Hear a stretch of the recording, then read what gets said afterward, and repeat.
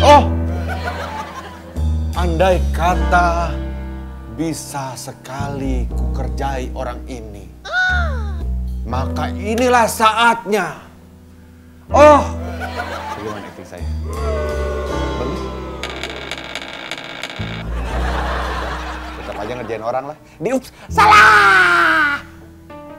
Tahu nggak vokalisnya tangga yang namanya Chef? Tahu kan? Itu korban kita. Chef Rina. Si Chef Rina ini eh, kemarin habis ujian UAS, UAS, ujian akhir semester. Mata kuliahnya saya baca dulu ya, maklum gak pernah kuliah. UKLB. Ketika lintah bertasbih. Eh, bukan KLB. Eh, komunikasi lintas budaya. Saya akan telepon dari bagian administrasi pendidikan BAP yang memberitahu bahwa ada kasus. Waktu kemarin dia ujian itu di mata kuliah KLB, dia ketahuan menyontek, pengawasnya melapor.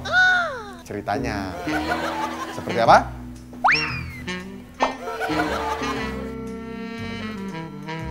Apaan sih? Halo? Halo Sefrina, Iya, iya. dari Badan Administrasi Pendidikan. Kamu kemarin sudah mengikuti semua UAS? Iya, saya udah baru selesai ikut UAS. Eh, kena, kenapa ya, Pak? Ini ah, kita dapat laporan dari pengawas Hmm. bahwa kamu mencontek. Waduh,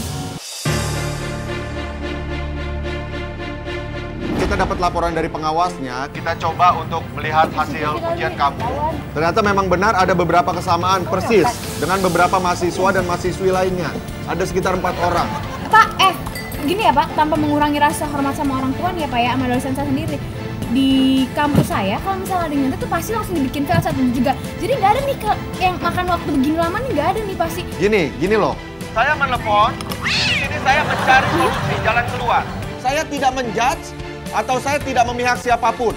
Eh, tapi kalau misalnya gi- gini ya Pak ya, Saya sekali lagi saya jembatan. ya sekarang Antara kalau Madura dan juga nggak usah marah-marah begitu. Surabaya. Saya tidak marah-marah. Saya tadi dari tadi saya menelepon baik-baik, tapi Anda yang langsung ofensif terhadap saya. Saya kan udah bilang tanpa mengurangi rasa hormat saya kepada orang tua ya. Ya. Anda bilang tanpa mengurangi rasa rasa hormat, tapi Anda tidak hormat terhadap saya.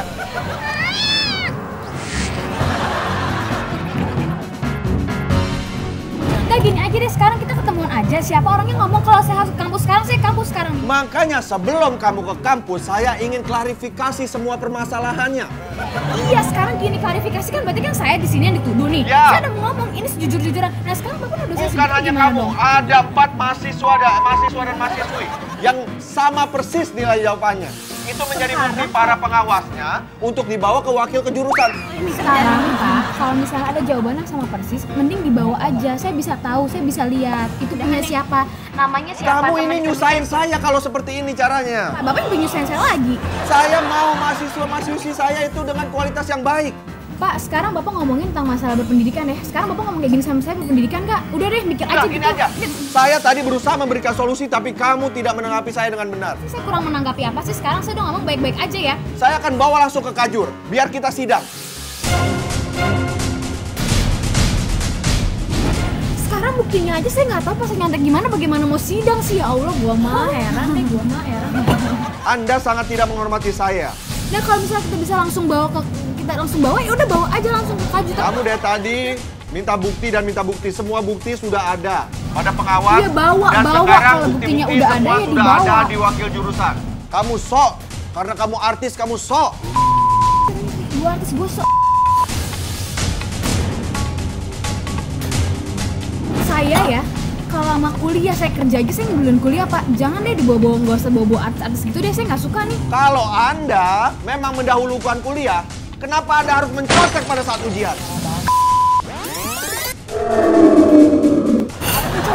lagi lagi kesel banget gue nih emosi gue serius emosi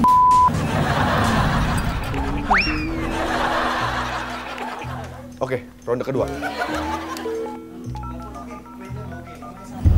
pak saya udah capek deh pak saya udah capek marah-marah nih ya pak ya Tidak tahu sopan santun kamu. Tidak diajarkan oleh orang tua kamu. Ya udah sekarang gini deh pak kita mau ketemuan di mana udah mau kajur itu bawa aja semua bukti-bukti deh udah bawa aja sama pengawasnya sekalian Kamu mahasiswi saya, saya peduli. Kamu matikan teleponnya begitu aja. ya udah sekarang tinggal kan dari tadi saya udah ngomong di kamu. Heh, Bapak, jangan kurang ajar yang ngomong ya. Kamu yang kurang ajar sama saya.